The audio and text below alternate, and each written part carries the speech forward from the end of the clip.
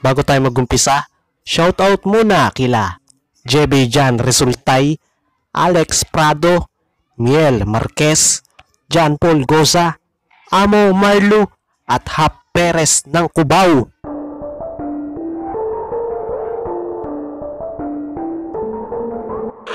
Kamusta mga chong?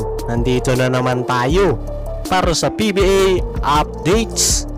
TNT Katropa magsasagawa ng sariling bubble concept. At Bobby Ray Parks Jr. makakapaglaro na nga ba sa Barangay Hinebra?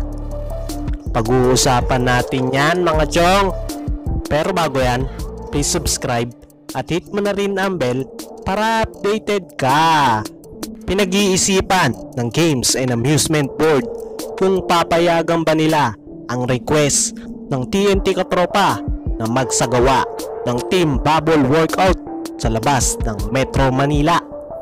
Ayon kay GAB Chairman Abraham Mitra, nagpaplanong magsagawa ang TNT Katropa ng sarili nitong bubble team workout na gagawin sa Balanga, Batangas. Kinumpirma ng TNT Team Manager Gabi C ang planong yan at inaantay na lang nila ang basbas ng Games and Amusement Board at ni Kume Marshall kung mapapayagan silang lumabas ng Metro Manila. Ayon sa team manager ng TNT Katropa ay magtatagal sila ng tatlong linggo sa loob ng sariling bubble kasama ang kanilang buong roster. Para sa TNT Katropa ay maganda ito para sa kanila dahil mas makakapaghanda sila sa nalalapit na pagbabalik ng PBA. At dito naman tayo sa isa pa nating balita. Si Bobby Ray Parks Jr. nga ang isa sa pinakamainit noong 2018 rookie draft.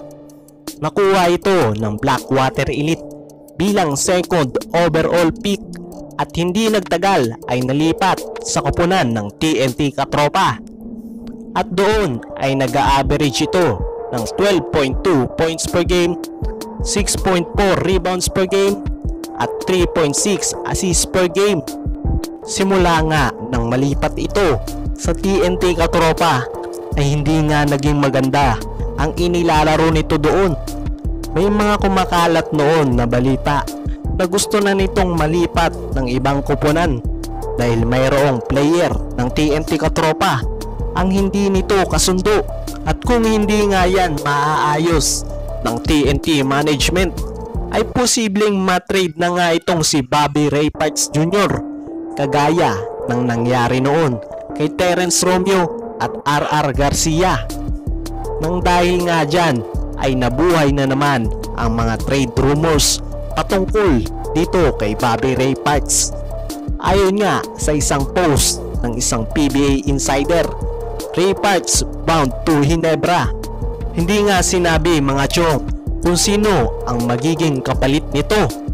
Kung hindi nga maayos ng TNT ang problema na yan, ay posibleng mangyari nga ang paglipat nito sa Barangay Hinebra.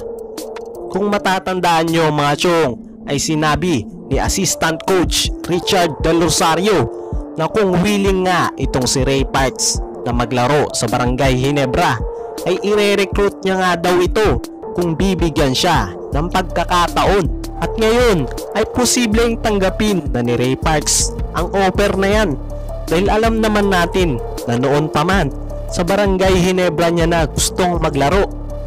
Ang magiging problema lang dito mga chong ay loaded na din ang Barangay Hinebra sa guard position dahil nandyan sila L.A. Tenorio, Scotty Thompson, Stanley Pringle at ang kanilang rookie na si Jerick Balanza. Hindi nga basta-basta ibibigay ng TNT Katropa itong si Ray Parks nang hindi elite player ang ipapalit ng Barangay Hinebra.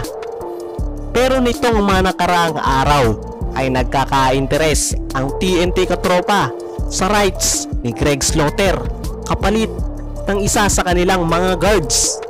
Sa ngayon nga ay wala pang kasiguraduhan kung magbabalik pa ba sa PBA itong si Greg Slaughter. Kaya kung tatanggapin ng Barangay Hinebra ang offer ng TNT katropa ay posibleng kunin nila itong si Ray Parks Jr. kapalit ng rights ni Greg Slaughter. Pero ayon nga sa naging pahayag ni Coach Tim nitong mga nakaraang buwan ay hindi nila ititrade itong si Greg Slaughter at aantayin nila itong magbalik sa kanilang kupunan. Ano sa tingin nyo mga chong? Dapat na bang kunin ng Barangay Ginebra itong si Ray Parks Jr.? I-comment mo lang dyan sa ibaba at babasahin natin yan. At yan lang muna ang balitang PBA natin mga chong. Huwag kalimutan mag-like, comment, and subscribe para updated ka sa mga PBA updates natin. At bago tayo magtapos, shoutout muna kila Renato Biray,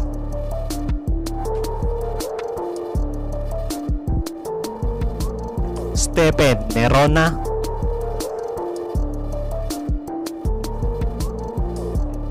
Perfecto. Oscare,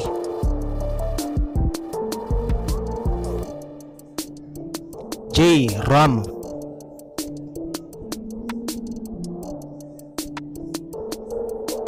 Alex Prado,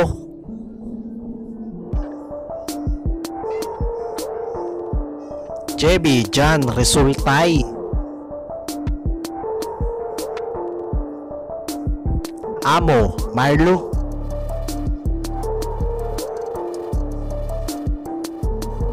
John Paul Goza,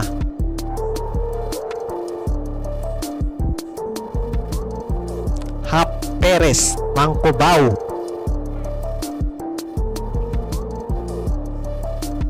Grace Larita,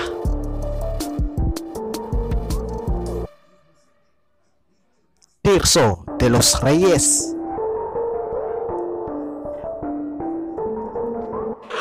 Jessica Baro,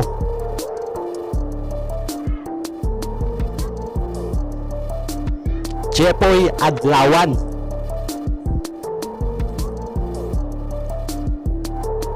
Marion Venturina,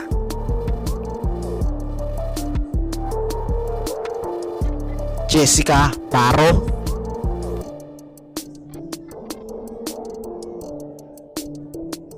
Paul Pena Vlog, Jude Andan,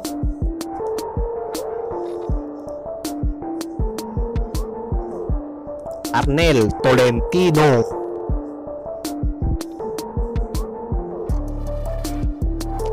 Neil Serenano,